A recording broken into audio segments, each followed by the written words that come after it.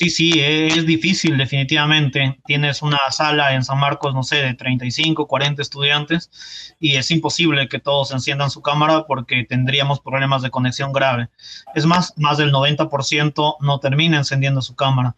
Entonces nuestras clases tienen que ser readaptadas a un modelo netamente participativo y obviamente he tenido que eh, programar las clases en exposiciones, programar las clases a través de constantes feedback, retroalimentación. Creo que ayuda mucho el tener, como lo tiene San Marcos y las universidades nacionales, una plataforma virtual donde ya el estudiante viene de alguna forma revisando y la labor docente está en el campo de incentivar, ¿no? Para que ellos puedan venir con una información previa, dialogar, conversar sobre ella y obviamente complementar la parte teórica.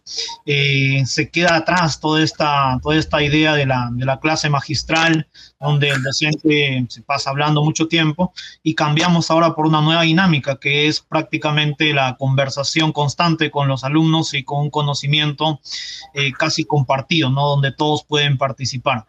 Creo que si no hacemos eso, eh, sería bastante complicado. ¿no? A veces le digo a los estudiantes, yo tiendo a imaginarme de que estoy dictando mi clase y tal vez todos están, han prendido ahí su computadora, pero están en diversas actividades y es verdad, algunos están trabajando, eh, pero al menos tratemos de entrar en la dinámica de participar y de conversar, ¿no? Que eso ayuda en realidad a todos. Y hay que entendernos, todos los estudiantes no tienen la misma condición económica y efectivamente algunos trabajan y hay que ir adaptándonos a ello también.